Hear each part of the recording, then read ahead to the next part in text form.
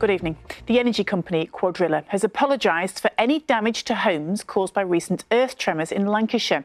Fracking was suspended last week after a number of small quakes, including one with a magnitude of 2.9 that was recorded close to its site at Little Plumpton on the Fylde. Mark Edwardson reports. All quiet at Cuadrilla's wellhead at Little Plumpton near Blackpool today. Fracking is suspended indefinitely following two strong tremors in the last week. The firm's now apologising for what it describes as the concern the magnitude 2.1 and 2.9 quakes have caused. Cuadrilla's apology is an insult to the people of Lancashire because it was a 2.9 Richter scale earthquake which caused damage and at the time they said it was only for one second and wouldn't damage property and that's proven to be completely untrue. Despite Cuadrilla's previous claim the tremors have been too weak to cause any damage, it's now promising to pay for repairs necessary after the recent stronger tremors. But protesters at Preston New Road aren't convinced.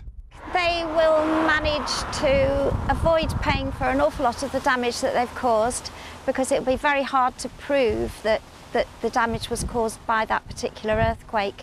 And unless people have been around their houses photographing every, every single wall and bit of plaster, they're not going to be able to prove that, that the earthquake caused it. The Fylde MP, Mark Menzies, believes fracking is dangerous and should be abandoned. Mark Mills agrees. The end is nigh for fracking because of the damage they've already caused and the fact that we don't need a fossil fuel anyway.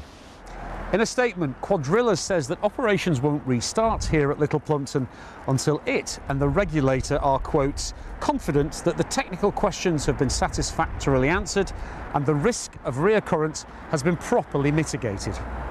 Mark Edwardson, BBC Northwest Tonight, Lancashire. In other news, hundreds of people gathered in Salford this afternoon to remember Michelle Pearson. She died in hospital last week, 20 months after being critically injured in an arson attack at her home that claimed the lives of her four youngest children. Today, a minute's silence was held outside their home in Walkden. Her friends, family, and loved ones then released balloons in tribute to her. The mum of one of the arena bomb victims has criticised the Manchester band for wearing suicide vests in their latest music video. Taking to Twitter, Martyn Hett's mum, Figen Murray, said the 1975 frontman should be very ashamed. The video for the band's latest single, People, shows lead singer Matt Healy from Wilmslow appearing to smile as he presses a detonator. 22 people died in the suicide bombing at Manchester Arena in 2017.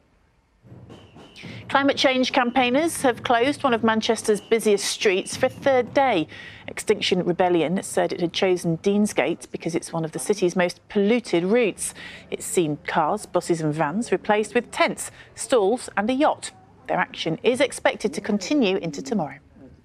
Bury MP James Frith is seeking a meeting with the English Football League with the hope of getting Bury reinstated into League Two if a new owner is found.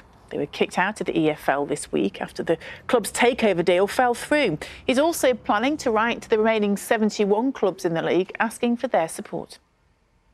Former Rochdale boss Keith Hill has been appointed as the new Bolton manager. The news came yesterday, just hours after Wanderers lost 5 0 for a third consecutive weekend in League One.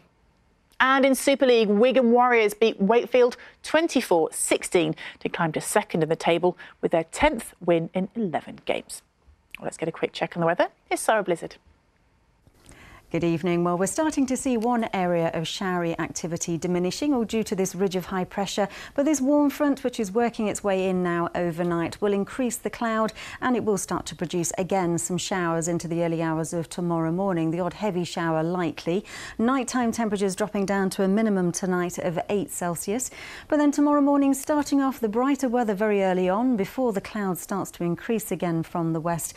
And the warm front will then start to produce some rain into the afternoon tomorrow. So it could be quite heavy at times, certainly across southern parts of Cumbria and into Lancashire, even to Merseyside as well for a time. So I think really the daytime temperature tomorrow close to 18 Celsius. The temperature staying into the mid-high teens next week, but it will be a little bit unsettled to start.